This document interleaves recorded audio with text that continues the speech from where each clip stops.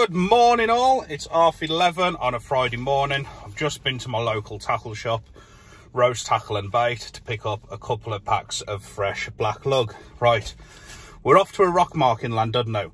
Uh, I've seen a few catch reports in and around these rocks where um, there's some big wrasse coming out. Big wrasse, big, big wrasse. so uh, I'm going to head over there. I've never been to this mark before. I've only looked at it from the road. I don't know how safe it is on the foot. I don't know how it fishes. I don't know snags. I don't know whether to take two rods down on a tripod or just a little float rod. I don't know. I'm totally stuck. I've never been there, so I'm going to, well, I'm not going to bore you. I'll see you when I get to the mark and we'll have a look and um, try and work a plan out. Right, where I want to go is down off them rocks. As I say, I've never been here. It's probably a mark, in all fairness, where there should be a couple of you. So I thought I'd come and check the mark out before I got the gear out of the van, which was a mission in itself. It's a bit eerie over the edge of there. anyway, well, looking around the mark, I come across a dead dogfish. A lot of people don't put these back. I don't know why, for some reason, I always put them back. Bloody hell. Sweating. Can't find the way I got back up. Can't find the entrance. I've just been climbing up that one. So I mean, you should always have a couple of places like this. Still need to find my van though, somewhere up there. Can't get up. Ah, come on, Webby, we can do it. And this is all the kit I'm taking. Rucksack and a rod. If I want filming, I wouldn't need the tripod, but I've got to film this one. Didn't really want to use this rod off the rocks, to be fair, but it's a 15 footer. And I think them extra few feet will help the fish snagging on the way up, should I be lucky enough to get one. I'll see you when we're back on that cliff face you know what? When you're on here, it's actually a comfortable mark. Obviously, I'm not going to be going near the edge. Um, you got all this. You can sit down, your rod tip there, um, all your gear here. And you know what? What a place. What a place. I'm, uh, if I don't get a bite for the next three hours, I ain't gonna lie, I'll be gutted. But um, I like this place. I could just I could just sit here, do you know what I mean? I've seen absolutely shite loads of uh, white bait down there and a couple of bigger fish underneath them, which I think are bass, not massive, but three or four pound fish. Uh, I've only got stuff on me for wrasse, but it don't, it don't mean they're not going to take the boat, you know what I mean? Uh, sorry I've rambled on a little bit more than usual in this video, you know I like to keep it short, but, you know, 50% of this fishing today is literally getting to the mark and back, so that's probably why I've rambled on a bit. Um, I just hope we can winkle something out. I'll be posting this video anyway because uh, I ain't done all this effort not to put a video in. but uh, a few bites and a little wrasse or something job done. But I know there's monster wrasse down here. I know there is. So fingers crossed, yeah. Get the rods in, check back to you. So this is the rig. Just a bit of lug on a little lock. Three-way swivel down to a longer link with the lead. So again, this will just be drifting in the current. Simple setup, see how it goes uh, six ounce there. Quite a big bait for wrasse that, not gonna lie. Um, you'll probably get away with a quarter the size of that, but I'm after the big wrasse. So we're gonna get this in now, but uh, look at the swells coming in here. They don't look that big on camera, but believe me, they are monsters. I'm probably about 40 metres up from the sea here. The bloody monster swells, them. I really hope we can get a result here. I really, really hope we can. I'm gonna get this camera set up, get the phone on charge and uh, see what. But yeah, to put it into perspective, that's the camera on normal zoom. So I don't want to be getting close to the edge yet. But um, it's quite a long way down, like. You toast if you're in there. Anybody doing this type of fishing, I'd strongly recommend you know your marks, you know you're not going to get cut off by the tide. I'm definitely not going to get cut off here because I'm too high above sea level. I think I'll be safe in a tsunami here. Uh, come in pairs, make sure you've got your escape route plan. Don't get near the edge, you know, safety is always first all we could do is give it a go. It's going to be just a surprise for me if I get one as it is for you. So I'm not going to know what it is until I lift it over this rock. There's no way I'm leaning over the edge looking. I think that's a bite. It's hard to tell for sure. There's that much line out the water. There's probably 30 metres of line till it hits the water. You know, you're losing a lot of bite indication.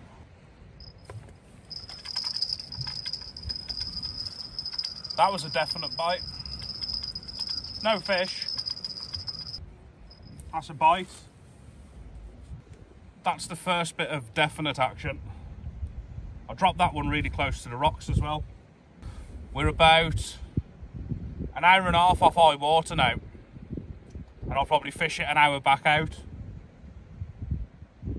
Still got a couple hours fishing just to winkle one out, but that was a bite.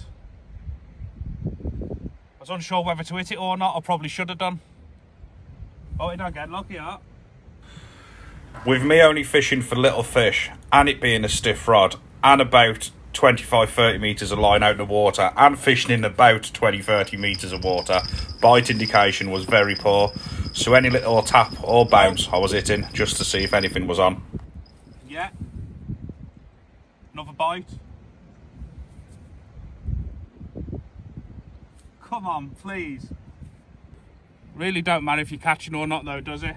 Literally, sat on the edge of a mountain, quite a bit away from any civilization. Just chilling. Not gonna lie, a fish would be nice though, but uh, it's just nice to be out. Good for the mind, good for the soul. I bet there's some cracking big fish out here, as in like tope, congers, huss, rays, everything. What the thing is, I don't think you could get them up. Obviously, it's it's a long way down, and then you got the overhangs. And how, how are you going to get anything up that's bigger than four or five pound? That's one of the only reasons why I ain't got big fish baits out and stuff. It's just, uh, I just don't think you'd get them up. It's not not fair on the fish, and it's bad angling, isn't it?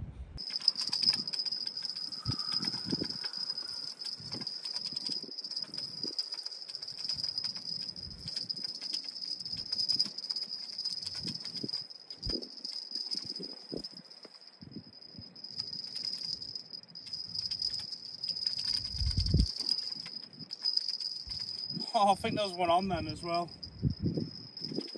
No.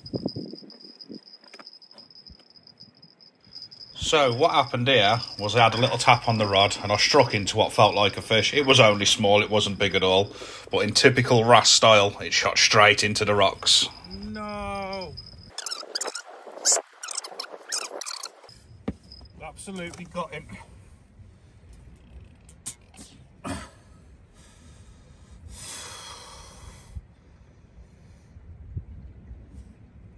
Go again, eh? Right, switch that camera off, get another rig on, and uh, go again. It's definitely something on. It wasn't massive, but you know, when you lift, when you reel it in, you can feel it bouncing like that. I was like, yeah, there's something on, probably a wrasse or something.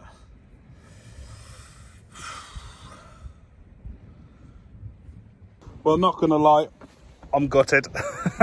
Absolutely gutted. It wasn't a big fish at all. Like, it could have been a decentish wrasse or something. I've hit it down there so I've seen the twitching on the rod right. I've hit it, I've felt a couple of kicks, nothing big at all. I'm not going to say, oh, it was a monster. It could have been like a pound tops, but it's come round and snagged. That's a typical sign of wrasse. I just bolt into the things. Right, I've just tied a new rig now. I'm gonna, well, it's like a two hook flapper type, I'll show you now. And uh, there's a bigger hook on the top one should something bigger come along. Um, it's just coming up to eye water now and I just had that bite. So fingers crossed, somewhere lurking down here could be a wrasse for us or even something different. Because it's so deep, I've got this rig on fishing now. Lead on the bottom, up to a swivel. This is like my little wrasse hook with stuff. As we move up to the next swivel, which would be about six inch off the bottom, I've got a bigger hook, a bigger bit of worm, should there be something bigger. They're both on three-way swivels. I love the swivels because every part of this rig turns so you you rarely get tangles. They always spin out on the cast or whatever. Instead of just having knots what wrap around the line you know what i mean? You can spin this as many times as you want. It'll always come back undone you see what i mean? So uh, yeah I get this in now. That's the little wrasse one at the bottom. And uh, yeah i'll check back to you. I'll tell you what that sun's coming around now and i can't half feel it on my bald head. Sizzling away there nothing seems to be doing but just in a little spot i'm going to try. It's that spot there i'll keep fishing there and obviously i've lost that one and had a couple of things but uh have a look over here. There's a lot of rubbish here again. The anglers give away the best spots. Well when you do a video and there's spots in it then leave this to let you know that it's the best spot. This is where i fish. That drops right down there in a little cove. So that it's going to be my next spot. I'm going to leave that camera there while I go over because there ain't really a lot of room to put it anywhere and I don't really want to drop my phone in. So uh, I'm just going to go and have 10 minutes off here, see if we can get something. Watch that rod tip.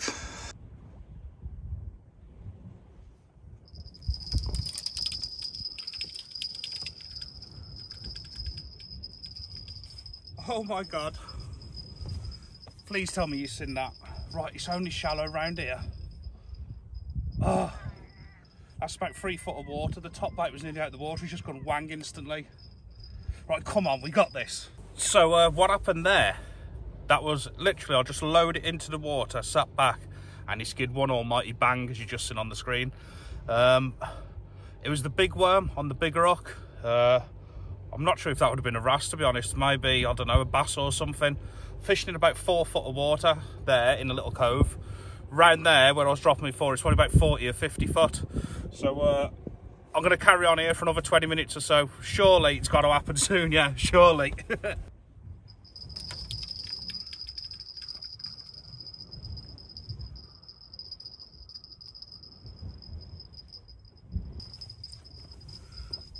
Go back to where I started for half hour. I should really be off by now. Um, really don't want to give up. It's the first time on a mark. I've learned quite a bit about it. I've had a few bites there. I've just been done on the bottom hook again. Uh, I definitely had a proper cracking bite there. I can spare another half hour. I ain't giving up. I'm gonna get. I'm gonna get a fish.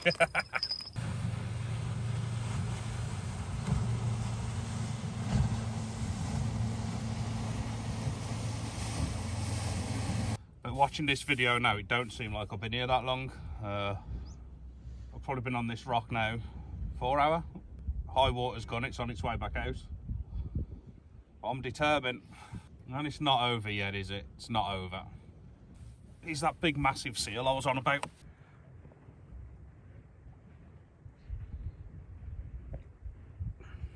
Since I've been back in this swim, another half hour, 40 minutes has gone and uh, nothing.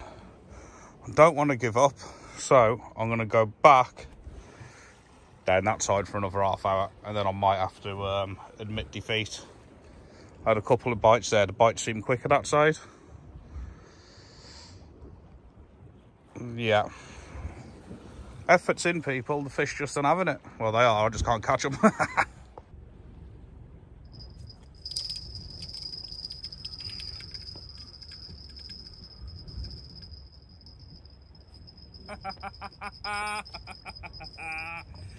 it's not a blank. Oh no, it's not what we come for.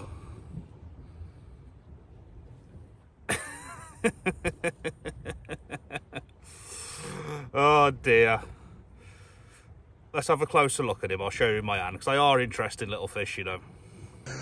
Now I'm really not going to milk this and say, this is it, we got a fish, this is everything. It really wasn't what we was after, but it stopped the blank. Cool creature, yeah?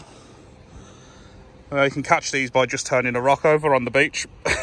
I've spent five hours fishing, climbing a mountain to get it. but it makes it all worthwhile, doesn't it? Oh well. I'll have a couple more chucks, but uh, I suppose a fish is a fish, eh, people? It's not a blank. well then. Climb from the top of there. I've sweated, I've climbed, I've put my life at risk for that. But you know, that's fishing, isn't it? Uh, I am going to have another 20 minutes, half hour now. But um, if you don't see me again, unfortunately, that is all there is. But as I said in the last video, we keep it real. If we have bad sessions like this, we have bad sessions.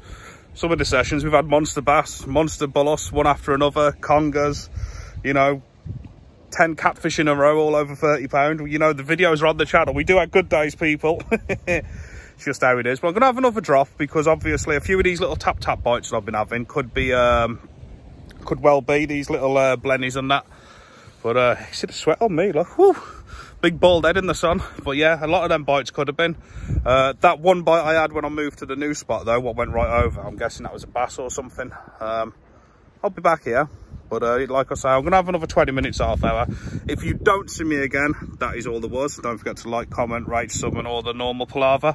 Um, and I'll see you in the next one, like I say. But if you do see me fishing again, it means I've had another. But if not, I'll see you all in the next show, people. Take care.